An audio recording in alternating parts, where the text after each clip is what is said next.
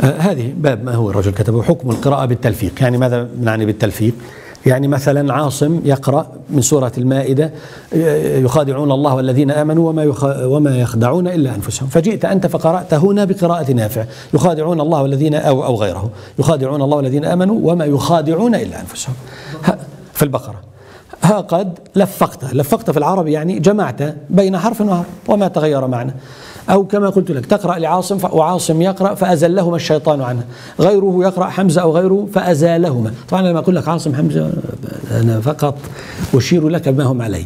سمي لي أبا بكر عمر عثمان أبي معاذ سالم ابن مسعود زيد بن ثابت. هكذا سمي لي. علي بن أبي طالب. سمي الحسن بن محمد. الحسين بن محمد هل لنا بأم القرآن من لسان فاطمة بنت محمد؟ هل لي؟ هل لي بأم القرآن على لسان الحسين بن محمد عليه صلوات الله أتجي تقول يا رجل على فلانة فلانة فلانة أخي. جيد. لا بد لا بد من السند إليهم فسموهم لنا. قل لي هات هات لي حرفك إلى سالم مولى أبي حذيفة. عمر قال لو أن سالما حي لاستخلفته. النبي بيقول خذوا القرآن عن سالم واحد من الأربعة. هات سمي مولى من الموالي. فقال فهمتم ما معنى القراءة بالتلفيق؟ يعني عاصم يقرأ مالك يوم الدين. فأنت قرأت لعاصم وقرأت ملك يوم الدين. يعني اخترت لفقت. في اللسان صحيح هذا مش ما يعني تظن العام ما فيها بأس ما فيها شيء. أن تقرأ مالك ملك عاصم ما غير ما ما فيش. هو عاصم يملك أن يردك في هذا. ليس له. الحرف حرف محمد عليه صلوات الله والتلاوة لنبي الله محمد عليه صلوات الله. عمر لما لبب الرجل شو الميزان؟ شو الشرط؟ بيأخذ لنبي الله. قرأ أم لم يقرأ؟ فإذا به قرأ انتهى. شيء؟ هذا الحرف. أسندوا أسندوا لنا إلى عمر إلى حكيم. يعني مثلا نقرأ آه، من كان قل من كان عدوا لجبريل. بالمحفوظ عندهم جبريل جبريل جبرائيل جبرائيل. أحد الصحابة يقول دخلت على نبي الله وسمعته وهو يتلو من كان عدوا لجبريل بفتح الجيم. هاي أسندت لنا صاحبا عن النبي يا أخي. وقرأت وهي تقرأ في في العشر كما يقولون. أربعا. وجاء الحسن فقرأ ثنتين البصري آه، جبرائيل جبرائيل وجبرائيل جبرائيل. آه، فهذا شاذ يا أخي؟ شاذ يا رجل هي جبرائيل جبرائيل بقى جبرائيل قرأ الحسن جبرائيل. ماذا فعلت؟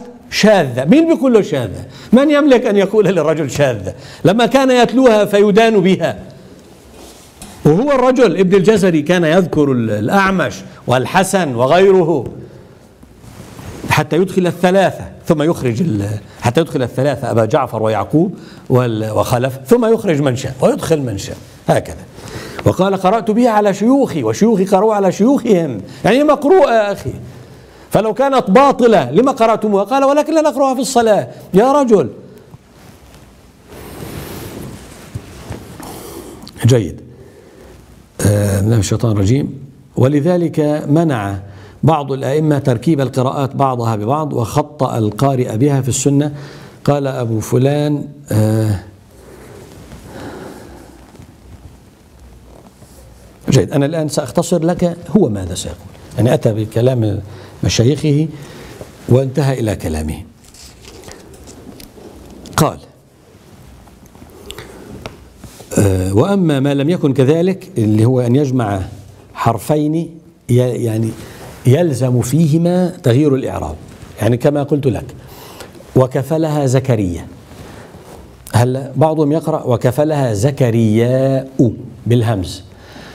في قراءة وكفلها زكريا. فإذا اخترت وكفلها لازم تقول زكرياء هكذا. فهذا لازم. فقال وأما ما لم يكن كذلك فإن نفرق فيه بين مقام الرواية وغيرها. فإن قرأ بذلك على سبيل الرواية أنه هذه رواية حفص فإنه لا يجوز أيضا من حيث أنه كذب. يعني تقول هذه رواية حفص ثم تخالف حفص. هو هذا الرجل يقول إحنا طبعا ميزاني ميزان النبي والذين معه. هو بيقول وهذا حقيقة. بتقول ماذا قرأ حفص؟ قول ماذا قرأ حفص. التزاما أو غير التزام. إنما لا تقول هذا حفص وتخ يعني وتكذب على الرجل. من حيث أنه كذب في الرواية آه، من حيث قال يعني لا يجوز من حيث أنه كذب في الرواية وتخليط على أهل الدراية.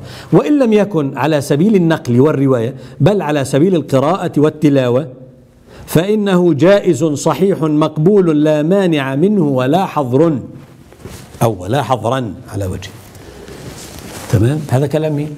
فإذا أنا كنت أقرأ قبل خمسة عشر عاما في المحاريب لا أقول بالتلفيق حتى لا تختلف علينا أقرأ بما كان يقرأ النبي والذين معه بما بلغنا عن نبي الله والذين معه. فيهيج الجاهل وتهيج العامة ليسميه ابن الجزري بالجواز. هو بيقول وقد روينا في المعجم الكبير للطبراني عن النخعي عن ابن مسعود قال ليس الخطأ أن يقرأ ببعضه في بعض. اللي هي هذا بسميه التلفيق. ولكن الخطأ الخطأ أن يلحقوا به ما ليس فيه. فنسألهم لما قرأ الحسن كان فيه كان في المصحف الإمام هذه مسألة مهمة. أنت بالجزري أعلم بالمصحف الإمام ولا الحسن البصري؟